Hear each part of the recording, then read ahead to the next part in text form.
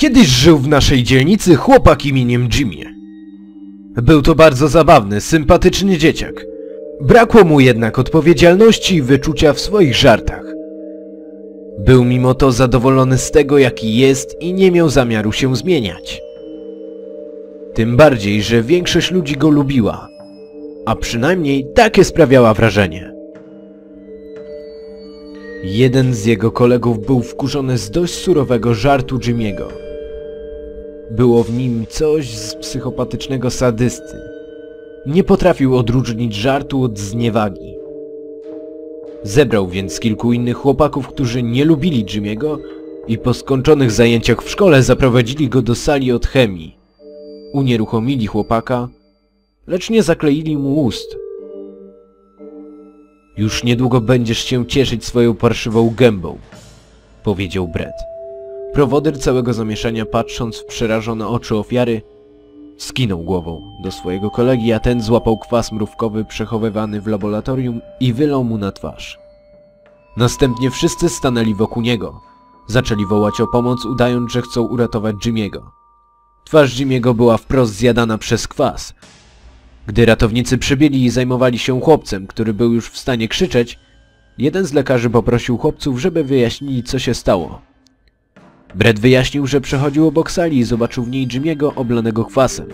Według jego relacji usiłowali mu pomóc. Pozostali chłopcy co chwila potwierdzali jego wersję. Jimmy próbował protestować w cichej agonii. Lekarz skinął głową i powiedział, że niedługo zostaną wezwani na kolejną rozmowę. Minęło kilka dni. Chłopiec leżał na intensywnej terapii z bandażami na twarzy. Lekarze ratowali co mogli z jego twarzy. Wskutek ich działań szczęka chłopca trzymała się w zawiasach, mimo znacznej utraty ciała i wciąż widział na jedno oko. Był w stanie mówić. Jednak nie chciał odpowiadać na niczyje pytania. Wpatrywał się w sufit. Nieobecny. Wciąż powtarzając słowo. Kłamcy. Jimmy nie będzie mógł już nigdy się uśmiechnąć. Zostanie samotny w domu na zawsze. Chore, mściwe myśli pojawiały się w jego głowie. Musiał poczekać, aż nadarzy się okazja. Wtedy uderzy. Jest weekend. Brett znalazł w swojej skrzynce na listy kasetę VHS z wyrytym napisem dla ciebie. Włożył ją do odtwarzacza. Był to amatorsko nagrany film, kręcony najprawdopodobniej w pośpiechu. Zaczyna się zoomem na codzienną gazetę. Data jest wczorajsza. Następnie kamera przeskakuje, ukazując brudną podłogę nieznanego pomieszczenia. Migotająca lampa lekko oświetla otoczenie.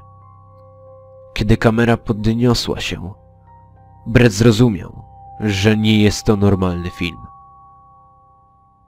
Przed kamerzystą siedział jeden z przyjaciół Breda. Był nagi, wokół twarzy miał brudną opaskę. Jego skóra była pokryta poparzeniami i ranami. Kamerzysta zdjął knebel z ust chłopca. Proszę, proszę człowieku, pozwól mi odejść. Zrobiłem co chciałaś. O Boże. Jess, Kate, Mike.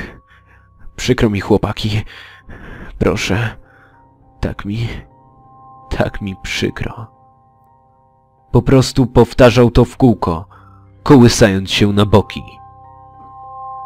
Brett zaczął się trząść. Widział spalone, zniekształcone ciała w tle, zwłoki jego przyjaciół. Wszystkie ciała posiadają oznaczenia w postaci dużych liter. Kamerzysta chwyta siedzącego przed nim chłopca za podbródek, nakazując mu wstać. Doprowadził go do drzwi, których nie obejmuje kamera. Słychać krzyki i już po chwili Brett może zobaczyć ciała swoich przyjaciół układające się w słowo kłamca. Aparat wyłącza się automatycznie. Po chwili uruchamia się ponownie. Tym razem kamerzysta jest na zewnątrz. Prawdopodobnie tym razem kamerę trzyma ocalały przyjaciel Breda. Gdzie jesteś? Gdzie jesteś po paprańcu?